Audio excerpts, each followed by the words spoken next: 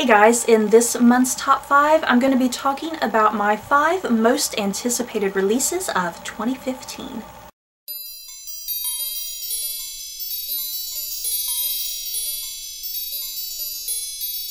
I seriously hate trying to do this sort of top 5 because it's hard to narrow down what books I am anticipating in the coming year. And on top of that, I don't know every single book that is coming out. There's literally hundreds upon hundreds of books coming out this year.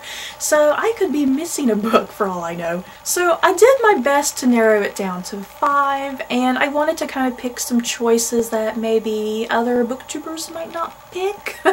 so to get started, at number five is The Tutor by Andrea Chapin, being released February February 5th.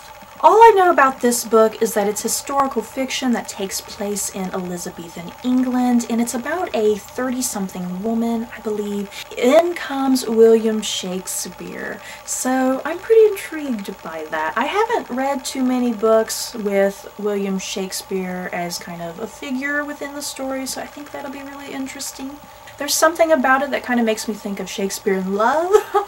and the idea that I'm getting from the synopsis on Goodreads is that uh, this woman might be the inspiration for Shakespeare's Dark Woman, I think is what she's called.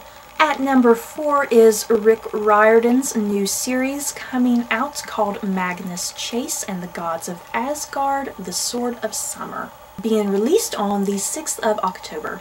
This new Rick Riordan series is a retelling of Norse mythology, very much like what he did with the Percy Jackson series with Greek mythology.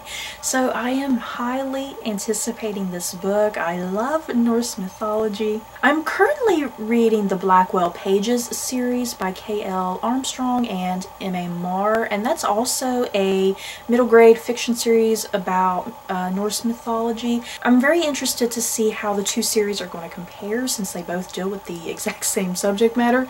At number three is the 12th and final book in the Pink Carnation series by Lauren Willig called The Lure of the Moonflower, being released August 4th. I honestly don't know much about this final book in the Pink Carnation series.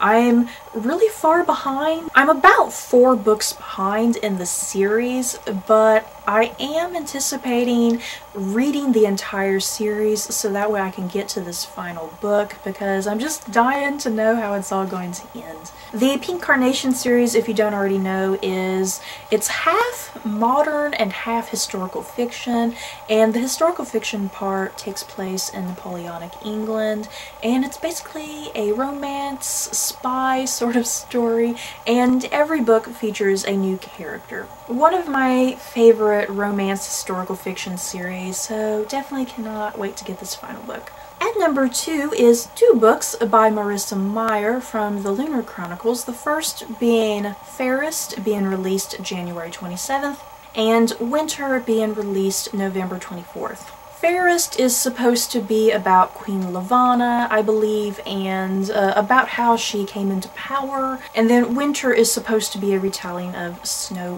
White. And I am certainly super excited to continue this series. And at number one is The Last American Vampire by Seth Grahame-Smith, being released January 13th. And this is pretty much a sequel to Abraham Lincoln Vampire Hunter, but it's all about Henry Sturges, who is the vampire that helped train Abraham Lincoln. Henry was definitely one of my favorite characters in Abraham Lincoln Vampire Hunter, so I'm excited to just read a whole book that's just all about him. So that's it for this month's top 5. In the comments below, I would love to hear what books you guys are excited for for the new year. So that's it for this video. I hope you guys enjoyed. Don't forget to like, comment, and subscribe. And if you liked this top 5, you may like these other top 5s. Bye guys.